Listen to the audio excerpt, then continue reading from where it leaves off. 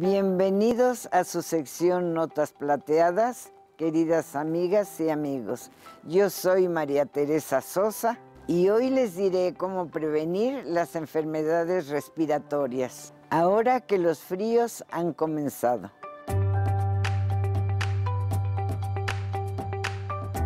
Con la entrada de la temporada invernal, aumentan los casos de enfermedades respiratorias y para evitar contagios debemos tomar medidas preventivas muy sencillas.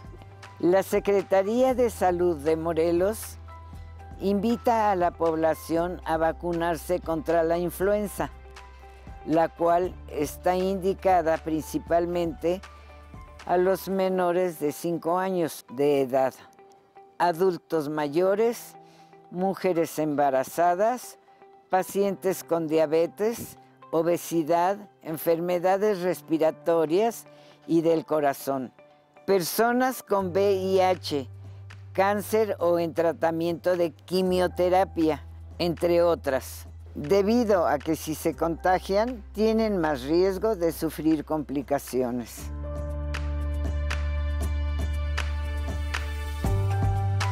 Las vacunas son gratuitas y se aplican en las unidades de salud. Acudan a la suya. Además de la vacuna, estos hábitos preventivos son importantes. Lavarse las manos, estornudar o toser cubriendo la boca con la parte interna del codo. No escupir, no acudir a lugares muy concurridos y evitar exposición a cambios bruscos de temperatura y corrientes de aire.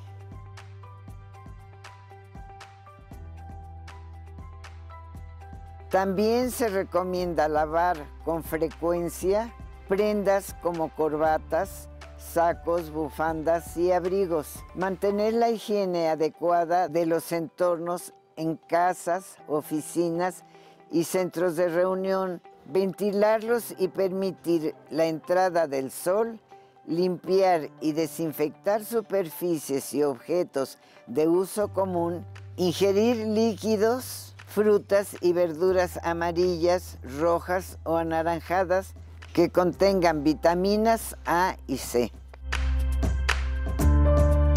Si presentan síntomas como fiebre mayor de 38 grados, escalofríos, tos seca, dolor de garganta, escurrimiento nasal, dolor de cuerpo y cabeza, ojos irritados y fatiga, no se automediquen y acudan de forma inmediata al hospital más cercano. A cuidarse, queridas amigas y amigos, es mejor prevenir, ya lo saben. Esto fue todo por hoy, nos vemos en la próxima Nota Plateada.